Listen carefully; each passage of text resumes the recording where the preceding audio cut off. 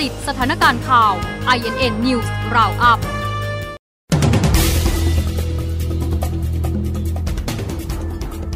13นาฬิกา14 นาที นายกรัฐมนตรีกำชับทหารตำรวจเสริมกำลังพื้นที่สีแดงเข้มช่วยเหลือดูแลประชาชนเดือดร้อนโควิดทุกมิติ เร่งค้นหาคัดกรองในชุมชน จัดตั้ง Community Isolation ในหน่วยทหาร 13นาฬิกา27 นาทีสภาวุ่นพักเพื่อไทยประท้วงรองสุภชัย ให้สิทธิ์สสบุรีรัมย์ชี้แจงปมร้อนวัคซีนบุรีรัมย์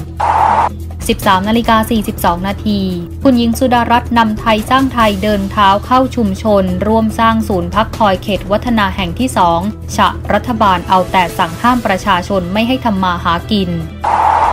ล่าสุด13 นาฬิกา 55 นาที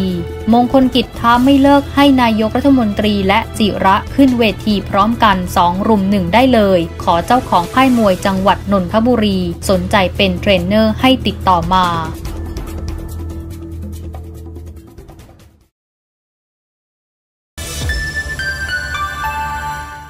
เกาะติดสถานการณ์ข่าว INN News Roundup